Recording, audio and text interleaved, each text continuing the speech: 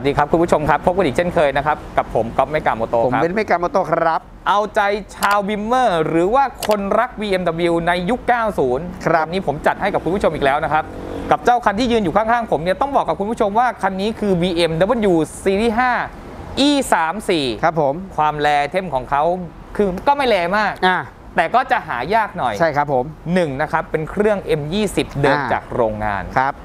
และอีกอย่างหนึ่งอืม นั่นก็คือรถแค่ 2 มือ โอ้โห โอ้โห หาจากไหนอะใช่ครับ รถ 2 มือแท้ๆ ในเล่มก็ 2 มือแท้อ่าๆและอีกอย่างหนึ่งครับคุณผู้ชมครับ คุณผู้ชมเห็นตัวเลขตรงนี้ไหมอ่า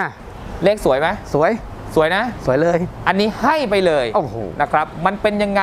จัดทรงแบบไหน สวยจริงหรือเปล่า ไปชมกันเลยครับ เอาละครับคุณผู้ชมฮะต่อมานะครับผมจะพาคุณผู้ชมนะครับ มาชมเจ้า BMW E 3 4 คันงามคันนี้ครับผม ดีกว่าฮะขออนุญาตเริ่มตั้งแต่ข้างหน้าฮะครับผมโลโก้ BMW นะครับ อันนี้ก็โลโก้อยู่สภาพสวยงามนะครับ ครับ จมูกตรงนี้โฮเมียมคิ้วสวยงามนะครับ CC นี่สภาพสวยงามไม่มีหักนะครับครับผม ซีข้างๆ ก็ไม่มีหักนะครับผมอันนี้ที่พี่ก็บอกทะเบียนสวยให้ไปเลยแล้วคือต้องบอกว่ามันเป็นหมวดเก่าด้วยนะอ่าจอจานคอควาย 5551สวยงามอ่ามมากครับผมอันนี้ให้ไปเลยแค่ป้ายเนี่ยมูลค่าผมว่าเกิน 30,000 ขึ้นแน่นอน อ่าหลายหมื่นแน่นอนใช่ครับผม เลนส์ไฟหน้านี่สภาพถือว่ายังใสยังถือว่าสวยงามอยู่นะครับครับไม่มีแตกนะครับอ่าฮะไฟมุมส้มตรงนี้ก็ยังถือว่าสภาพสวยงามนะครับ มีร่องรอยบ้างตามการใช้งานแต่ไม่ครัน่าเกลียดบผมนะครับ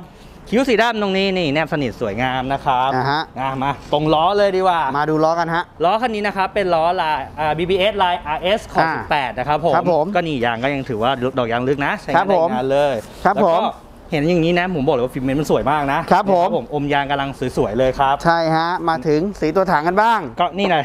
บางๆคมสันชัดๆคมมากใช่ครับสวยงามคุณผู้ชมครับ สีสันสวยงามนะฮะทั้งครับคันนะคุณผู้ชมฮะอาจจะมีตำหนิการใช้งานเล็กน้อยเท่านั้นนะใช่ไม่ได้ครับน่าผมเกลียดอะไรเลยใช่นะครัฮะบคุณผู้ชม แล้วก็คิ้วข้างสีดำตรงนี้แนบสนิทสวยงามนะครับผมชิ้นล่างที่เป็นแบบสีดำกันรอยนะก็ถือว่าสภาพสวยงามอยู่นะครับครับผมล้อหลังเออเมื่อกี้ผมลืมบอกอย่างว่าล้ออะคันนี้ได้เป็นหน้าตื้นหลังลึกด้วยนะโอ้โห fitment แบบสวยงามมากก็คือล้อหลังใช่ฮะก็จะได้เป็นอ่า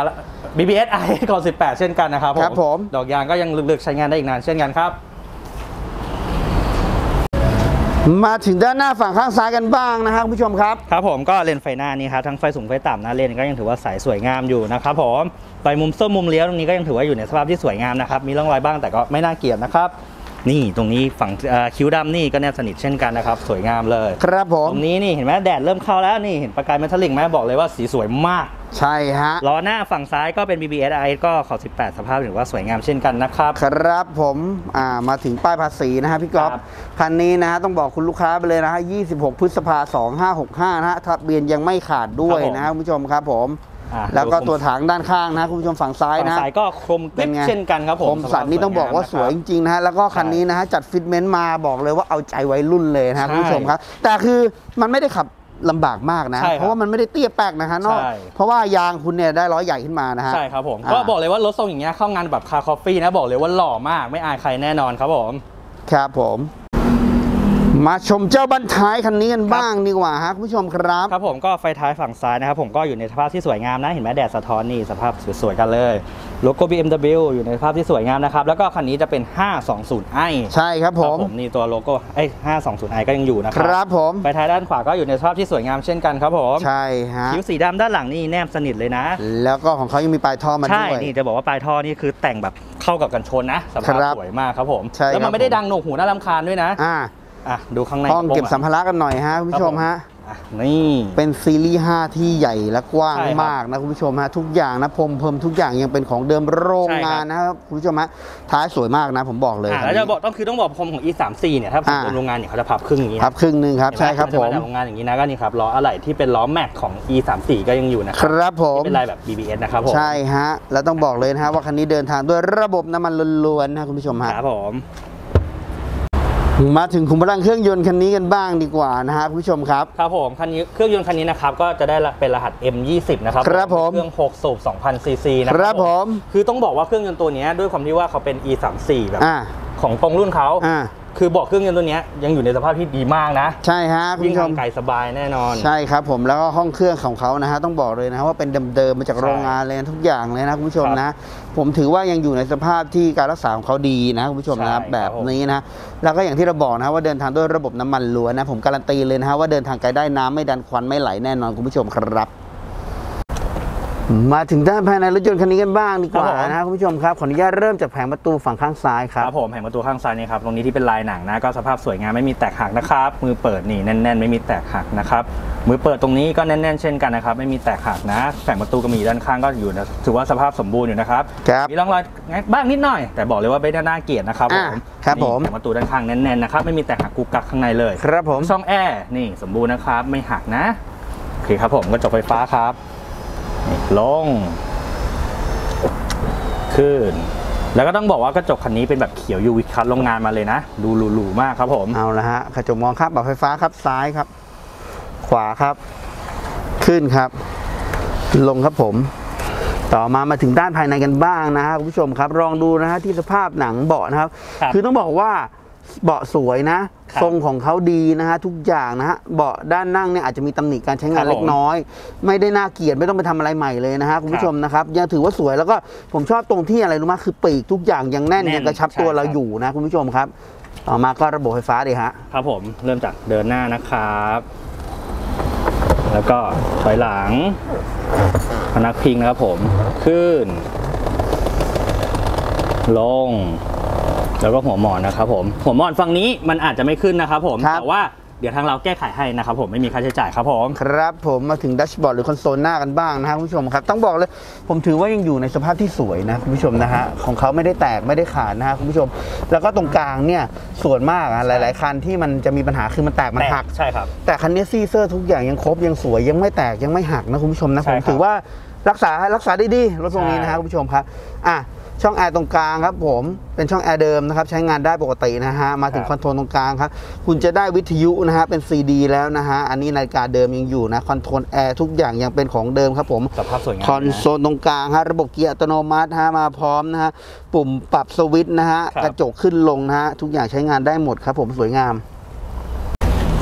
มาถึงแผงประตูฝั่งด้านขวาคนขับกันบ้างนะคุณผู้ชมครับ ครับผมก็เริ่มที่แผงประตูด้านข้างตรงนี้นะครับผมเป็นลายหนังนี้ก็สภาพสมบูรณ์นะครับไม่มีแตกนะครับมือเปิดตรงนี้ก็แน่นๆนะครับไม่มีหักนะครับ ตรงนี้นี่มือเปิดก็ถือว่าสภาพสมบูรณ์อยู่นะครับไม่มีหักข้างในนะ ก็มีด้านข้างประตูนี่ขาวสะอาดนะครับนี่นะฟูๆนุ่มๆเลยนะครับแผงประตูตรงนี้นี่แน่น ๆ ไม่มีแตกหักนะครับผมช่องแอร์ฝั่งนี้นี่ใช้งานได้ปกติครับ ไม่แตกหักเช่นกันครับผมกระจกไฟฟ้ากันบ้างดีกว่าคุณผู้ชมฮะนี่ลง อ่าขึ้นนะฮะคุณผู้ชม ครับกระจกบานนี้ก็เป็นเขียว UV คัดโรงงานมาเช่นกันนะครับ สภาพสมบูรณ์มาก กระจกมองข้างปรับไฟฟ้าครับน้องอุ้ม ปรับข้างอ๋อ อยู่ตรงนี้ ขอโทษครับ อะ ไปทางขวา ซ้าย ขึ้น ลง นี่มันอยู่ตรงประตูตรงนี้นะลืมครับลืม อะ มาถึงเบาะที่ถูกใช้งานมากที่สุดก็คือเบาะคนขับนั่นเองนะฮะผมต้องบอกเลยนะคุณผู้ชมครับว่าเบาะคนขับอยู่ในสภาพที่สวยมาก สวยมากนะหนังทุกอย่างของเธอไม่มีขาดไม่มีชำรุดนะฮะได้เดินไม่มีล่น แล้วก็เบาะของเขาทรงยังดีมากทั้งเบาะนั่ง แล้วก็พนักพิงนะฮะต่อมาเราก็เทสระบบกันหน่อยครับผมครับผมเริ่มจากเดินหน้าครับ ถอยหลัง พนักพิงนะครับผมขึ้น แล้วก็เอ็นลง แล้วก็หัวหมอนนะครับผมขึ้น ลงใช้งานได้ปกติครับ มาด้านพวงมาลัยกันบ้างดีกว่านะฮะคุณผู้ชมครับพวงมาลัยของเขายังเป็นตัวเคนะของเดิมนะผมต้องบอกเลยนะว่าพวงมาลัยอยู่ในสภาพที่สวยและสมบูรณ์นะฮะผมถือว่าสวยมากกันเลยทีเดียวดีกว่านะฮะกับรถปี 89 นะคุณผู้ชมนะฮะทุกอย่างโลโก้โลโก้เขาชัดเจนนะฮะอะ มาต่อกันที่ด้านไม้กันบ้างครับ สวยๆ ใสๆ แบบนี้นะฮะไม้นะฮะคุณผู้ชมครับ คันนี้วิ่งมาเพียง 255,676 กิโลเท่านั้นนะฮะคุณผู้ชมครับร้านเราขายแต่ไม้แท้ๆครับ ยืนยันการันตีว่าไม่มีการกรอไม้เด็ดขาดนะคุณผู้ชมครับผมอะมาถึงบนหัวผมกันบ้างมันมีอะไรกันบ้าง พอเปิดมานะครับข้างขวาก็จะมีกระจกนะฮะครับสำหรับอ่าคนขับอยากจะแต่งงาครับนผมฝั่งซ้ายก็มีกระจกเช่นกันนะฮะคุณผู้ชมครับ ผมแล้วก็ตรงกลาง ไม่มีไฟใช่ไหม อันนี้ไม่มีไฟครับไม่มีไฟเดิมๆนะไม่มีไฟอยู่แล้วอันะนนี้ไม่มีครับมีแค่ตรงกลางแค่นั้น ครับอ่าแล้วพี่ก๊อฟขอตรงนี้นิดนึงนี่ด้านข้างนะ อย่างคันรอบที่แล้วที่ผมเคยบอกไปว่าเป็นตัวแวนใช่ไหมคันนี้เป็นตัวรถเก๋งเห็นไหมรูปตรงนี้เขาจะเป็นรถเก่งเลยแล้วก็ซีรีส์ของรุ่นเขานี่ 520i สติกเกอร์โรงงานตรงนี้ก็ยังอยู่ครบครับผม มาถึงห้องโดยสารแถว 2 กันบ้างนะฮะคุณผู้ชมครับผมครับขออนุญาตเริ่มจากแผงประตูฝั่งด้านขวาคครัรับบผมก็ข้างบนนี้นะเท่านี้ที่เป็นลายหนังนะครับ ตรงนี้ก็สมบูรณ์ไม่มีแตกหักนะครับ ปุ่มกระจกนี้ไม่ลอกนะครับที่เคเบุรีนี่ใช้งานได้ปกตินะครับที่เปิดตรงนี้สมบูรณ์นะครับไม่มีแตกหักนะ ตรงนี้นี่บอกนะไม่ใช่รอยเลอะนะเนื่องมันเป็นกำมะหยี่ฟูๆนะครับนี่กรีดให้ดูเลยเห็นไหมก็ฟูสมบูรณ์ปกตินะครับนิดหน่อยตรงนี้ ไหนไหนไหนไหนอ๋อเอ่ออะอันนี้นี่มีเรื่องปะนี่นี่ไม่ใช่นี่อ๋อไม่ใช่เหรอนี่ไงนี่อ๋อมันฟูนี่กรีดขึ้นกรีดขึ้นเห็นไหมรอยตามนิ้วเลยนี่เอาลงอ๋อโอเคฟูปกติครับผมแผงประตูแน่นๆ ไม่มีแตกหักข้างในนะครับ กระจกไฟฟ้าเลย ลง ขึ้น แล้วก็ต้องบอกว่าเห็นไหมเป็นเขียว UV คัดจากโรงงานนะครับผมนี่ทั้งคู่เลย เอาละครับคุณผู้ชมฮะมาถึงแผงประตูฝั่งด้านซ้ายมือผมกันบ้างนะคุณผู้ชมครับ สภาพฮะยังอยู่ในสภาพที่เรียกได้ว่าสวยงามนะคุณผู้ชมครับผม ส่วนตรงหนังที่เป็นกำมะหยี่เนี่ยอาจจะมีเลอะๆบ้างนะคุณผู้ชมครับเล็กน้อยนะไม่ได้น่าเกลียดอะไรนะคุณผู้ชมครับครับผม แต่ว่าโดยรวมคือสภาพเดิมๆจากโรงงานของเขานะฮะคุณผู้ชมอะนะฮะมือจงมือจับทุกอย่างนะฮะอยู่ในสภาพที่สมบูรณ์ครับเก๊ะเขี่ยบุหรี่นี่เป็นไงยังเปิดแล้วงานใช้งานได้อยู่ครับผมครับต่อมาก็ระบบไฟฟ้าฮะลงก็ยังลื่นนะคุณผู้ชมครับผมขึ้นครับ โอเค ลงลื่นขึ้นไวนะคุณผู้ชมฮะมองงี้ก็น่าจะเห็นด้วยนะว่าเป็นเขียว UV คัดใช่ครับเช่นกันคอะรับผมต่อมาตรงขาผมนะฮะ เป็นซีรีส์5นะฮะ option เขาต้องให้มาสุดแน่นอนอยู่แล้วครับใช่ก็ต้องมีแล้วแอร์นะแถวสองนะคุณผู้ชมครับผมสามารถควบคุมแรงลมได้เท่านั้นนะครับคุณผู้ชครัมบผมโอ้โหเรียกได้ว่านี่สวยสวยอยู่สวยอยู่นี่สวยสวยสวยอยู่ช่องโอครัทูบแอผมร์สวยอยู่ครับคุณผู้ชมฮะ อะมาถึงเบาะนั่งด้านหลังกันบ้างนะครับคุณผู้ชมครับผมผมยังถือว่าอยู่ในสภาพที่สวยนะฮะใช่อาจจะมีตำหนิการใช้งานเล็กน้อยไม่น่าเกลียดไม่ต้องไปทำอะไรเลยครันะบคุณผู้ชมครับได้ด้วยทุกอย่างยังดีนะยังไม่ล่นนะฮะแล้วก็เบาะของเขายังเป็นทรงอยู่นะยังไม่ยวบใช่ยาบยังแน่นอยู่ใช่ครับทั้งเบาะนั่งแล้วก็พนักพิงครับผมนี่เป็นงานพนักพิงของเขานะฮะคุณผู้ชม ด้านหลังนี่ยังไม่พอนะฮะคุณผู้ชมครับ ของเรายังมีม่านอีกนะอะเอาขึ้นให้ดูหน่อยนี่ขึ้นลื่นๆเลยครับผม ลงเดี๋ยวนะ นี่ขึ้นสุดลงเป็นไงลื่นๆ เช่นกันครับผมระบบของเขาก็ยังสั่งการและใช้งานได้อยู่นะครับ มาถึงครัตรบงกลางกันบ้างนะซีรีส์5ยังไงก็จะต้องมีเท้าแขนให้ผมได้ใหญ่เท้าโตอลังการมานั่กงกันยาวๆนะคุณผู้ชมคใช่รับตอนนี้นะครับ e 3 4 4ประตูก็คือคันนี้ครับเป็น touring เราก็มีนะครับ นั่นก็คือเป็น van นะ หลายๆคนอาจจะเห็นคลิปไปแล้ว เลือกกันดูจะเก็บแบบไหนจะ 4 ประตูหรือจะเป็น touring ใช่แต่สำหรับคันนี้วันนี้ 4 ประตูจัดไปก่อนนี่ดูสิเนี่ย ภายนงภายในเธอสวยนะ ทุกอย่างเป็นไงฮะ ลายไม้สวยพวงมาลัยสวยกิฟเลยเนี่ย สวยนะใช่เห็นไหมฮะแอร์เย็นนะครับแอร์เย็นโอ้นะเย็นมาก ใจเย็นฮะ ฟิล์มใสแบบนี้แต่แอร์เย็นนะครับ เพลงไม่รู้ว่าจะเพราะไหม อ่า เดี๋ยวผมลองเปิดแล้วผมหาเมนูมันไม่เจออาก็เดี๋ยวอันนี้ไม่ชินเดี๋ยวขออนุญาตเดี๋ยวลองให้ก็เดี๋ยวค่อยไปเล่นกันดูนะครับ ผมด้านหลังนะครับคุณผู้ชมครับ เห็นไหมฮะ มาอยู่ อ่าถ้ากดกดมากกว่านี้เออดีเว้ยกูร้อนคอพอดีเลย กดนี่กดแช่นี่เออกดแช่ไว้ เออเห็นไหมข้างหลังเนี่ยผมมองไม่เห็นอ่าแล้วก็คุณผู้ชมดูนะครับ ผ้าหลังคาเธอ สวยนะสวยงามนะคุณผู้ชมสวยงามเลยครับอ่าด้านคงด้านข้างนะครับ คือต้องบอกว่าเป็นรถที่สวยทั้งภายในและภายนอกนะครับใช่ถือว่าสวยเลยในอายุของรถอืมไม่ใช่รถป้ายแดงนะอืมต้องฟังก่อนนะครับ คือจะบอกว่าเครื่อง ตัว E34 ที่เป็นเครื่อง M20 ตัวเนี้ยอ่ากลับได้ให้ให้ได้สภาพแบบนี้ผมบอกเลยนะว่าตอนนี้คือมันหายากมาก ใช่ ที่จะให้แบบสภาพแบบสวยได้แบบคันเนี้ย และต้องบอกว่าเดี๋ยวนี้เครื่อง M20 ครับก็คือไม่แน่ใจนะฮะแต่ว่าคืออย่างนี้เพื่อนผมมาที่เล่นเรือกันนะเล่นเรือเขาจะเอาเครื่องเจ้า M20 เนี่ยไปวางเรืออาเขาบอกว่ามันโมได้เยอะอ่าแล้วมันอึดมันทนอ่านนะฮะแล้วก็คือเดิมๆของเขาก็แรงอยู่แล้วด้วยอ่าเพราะฉะนั้นคนถามหา M20 เยอะมากบอกเยอะนะที่เป็นบล็อกนี้ใช่นะใช่ใช่ฮะไม่เชื่อว่าแรงไม่เชื่อว่ะเป็นยังไงโอ้ยนี่ M20 โรงงานนะเนี่ยดูดิดูวิ่งดิดูดูดิยกก่อนยกก่อนยกก่อนเดี๋ยวก่อนโอ้โหมันดึงตกใจอะนี่จำคอสะพานนะรถโหลดด้วยเนี่ยอะอีอะกทีไหมดูดิ มันดึงนี่มันดึง ตกใจนี่อะ M20 นะ เชื่อแล้วโอ้โหดูดิอุ้ยทำไมอะทำไมเขาถึง M20 รู้แล้วว่าทำไมต้อง M20 คือจริง ๆ เนี่ยเราคิดมาตลอดว่า M20 มันโบราณไปเปล่า อ่าอ่าใช่ เออคือต้องบอกว่ารถเนี่ยมันหนักกว่าเรือนะอ่าคือเข้าใจแล้วแต่เอาอ่าเครื่องมาอยู่ในเรือมันจะแรงขนาดไหนใช่ เข้าใจแล้ว คือต้องคือก็คือที่บอกแล้วด้วยที่ผมแบบอย่างคันที่เคยขับมาตัวที่เป็นตัว M50 ไปแล้วอะเนอะอ่า ผมเรากลับรู้สึกว่าตัวนั้นน่ะกับบอดี้เนี้ยมันก็โอเคแหละ แต่แบบ จะคิดมาตลอดอย่างพี่กอฟบอกแล้วก็คิดว่า M20 อาจจะอืดกว่านั้นดอกกว่านั้นหน่อย เออที่ไหนได้คันนี้บอกเลยว่า M20 คันนี้แรงมาก ใช่ คือกดแล้วแบบหูเหลือเชื่อเลยกดแบบปุ้งปูดเลยอะนี่ไงเขาถึงเรียกว่า MG ใช่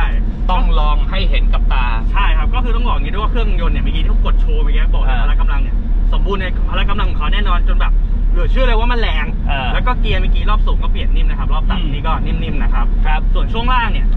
เอาว่าความสมบูรณ์เนี่ยสมบูรณ์นะไม่มีครัการบกูกักอะไรเลยขนาดมันโหลดเตี้ยเนี่ยนะปล่อยมือให้วิ่งให้ดูเนี่ยครับ เนี่ยมันก็วิ่งแบบปล่อยมือได้อะแล้วก็ครับคือ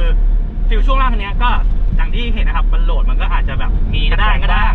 ดึกๆหน่อย มีแข็งบ้างนะครับ ใช่ แต่ว่าช่วงล่างไม่มีเสียงดัง ใช่ครับ แข็งก็คือแข็งก็คือรถมันจัดฟิตเมนต์มา ใช่ใช่ แข็งในที่นี้ก็ต้องบอกคุณผู้ชมว่าไม่มีแอดติดซุ้มล้อ ใช่ ไม่มีลากไม่มีขูดนะ ใช่ อ่า แล้วก็ที่พี่ก๊อฟบอกรถสองมือเนี่ยอย่าบอกว่าสองมือเนี่ยมือแรกเขาครอบครองมายาวเลยนะ อ่า จนเพิ่งมาเปลี่ยนมือตอนเมื่อปี 59 เอง อ่า แล้วก็เนี่ยแค่สองมือเนี่ยถ้าผู้ชมได้ไปเนี่ยเป็นแค่มือที่สามเองนะ ใช่ กับอายุรถขนาดเนี้ยแล้วได้สภาพแบบแบบเนี้ยเนี่ยเนี้ยบอกเลยว่าหายากยากเลยตอนเนี้ยแล้วก็ได้เลขสวยที่มันตรงกับรุ่นนี่ใช่ครับ นะครับ เป็นเลขหมวดเก่าโอ้ยจริงๆรถทรงนี้ฟิตเมนต์โดนผมมากเลยนะ ใช่ถ้า เป็นผมผมจะให้ราบลงไปนิดนึงโอ้โหนี่ยังแบนไม่พอเหรออะอีกทีอะคาใจโอ้โหนี่เป็นดุโอ้โหดูดึงดิดูมือพี่เบนดูมือพี่เบนดูมือพี่เบนดูมือพี่เบน โอ้ยสบอมักยสมัยก่อนนี่จับราวนะไอ้รถเมย์ขนรถเมย์เขียว คือเข้าใจแล้วว่าทำไม M20 ถึงหาไปโมกัน เออ โอ้โหมันแรงดีโอ้โหเสียวเมื่อคืนคุณเมื่อวานคุณขับ X5 หัวผมโป่งหลังคาเลยอะโอ้โหคือคนพวกนี้จะไม่ค่อยไว้ใจให้คนอื่นขับชอบขับเองแต่ขับเร็วเออ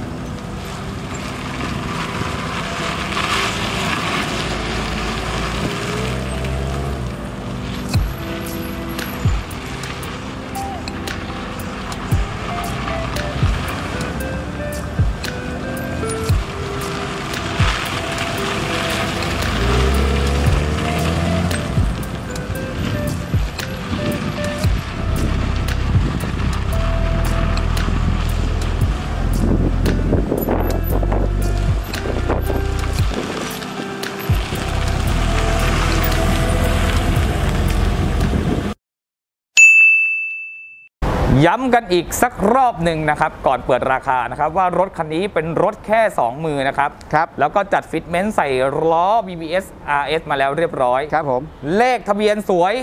ให้ไปเลยอ่าเอาเท่าไหร่ดีวะเนี่ยตึ๊ดตัดตึ๊ดตัดตึ๊ดตัด1 6 9 0 0 0 บาทถูกๆ เอาไปเลย ครับผม e 3 4ตอนนี้ราคาผมบอกเลยไล่ๆ ผมเจอนะ มีตั้งยัน 20ปลาย ใช่ครับยัน3 0 0แสนสามแสนกว่า ใช่อืมแต่สภาพนี้คุณผู้ชมเอาไปรถ 2 มือเนี่ยผมบอกเลยว่าหายากครับนะครับ1 6 9 0 0 0 บาทเท่านั้นจัดไฟแนนซ์ไม่ได้ขายสดอย่างเดียว พบกันใหม่คลิปหน้ากับไม่กลับมาโตครับครับอย่าลืมกดไลค์กดแชร์ กด subscribe ไว้นะครับ เพื่อที่คุณผู้ชมนะครับ จะได้ไม่พลาดรถที่เข้ามาใหม่ในทุกๆวันจากร้านเมกะโมโตนะครับ